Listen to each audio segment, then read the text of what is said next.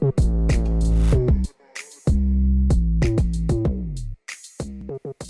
welcome to InstaHub. Here is what you need to know. Several energy-related project proposals by local and foreign companies engaging the government's attention.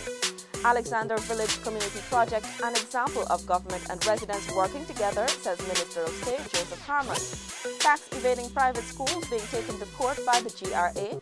Minister of Public Infrastructure David Patterson said the 150 million US dollars CJIA project is at third fixed stage.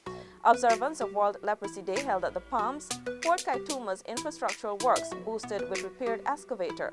Exciting times for ICT as new hub opens in East Randolph. And Junior Soca and Calypso dress rehearsals entertain Seawall patrons. Get the details on InfoHub. Goodbye.